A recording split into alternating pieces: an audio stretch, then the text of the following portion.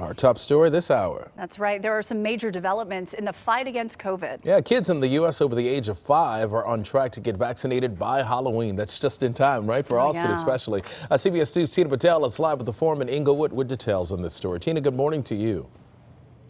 Good morning. Pfizer is releasing new trial results this morning. They say a lower dose of the vaccine was found to be safe in children 5 to 11, and they said that they generated a what they call robust antibody response. The so the company says that they are planning on applying for emergency approval from the FDA soon.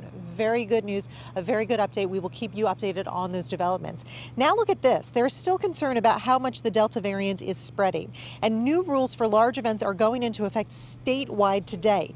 If you go to an indoor event with more than 10,000 people, now you will need to show proof of vaccination or you'll need to show that you got a negative COVID test within 72 hours of the event. The same rules will apply to outdoor events with more than 10,000 people starting October 7th. Public health officials say they are doing what they can to manage risk and make sure that we don't have another surge as we head into late fall and winter. Now, as we come back out here live, there is a Kings of Leon concert here at the Forum tomorrow night, so fans will need to be planning ahead. They can no longer self attest, they need to show proof to be let in, but there will be a rapid COVID testing site here for fans who don't have the proof. We'll send it back to you. Thanks, Tina. But uh, so going back to this trial involving young children, lots of parents are curious about this. Will they end up getting the same shot that adults get?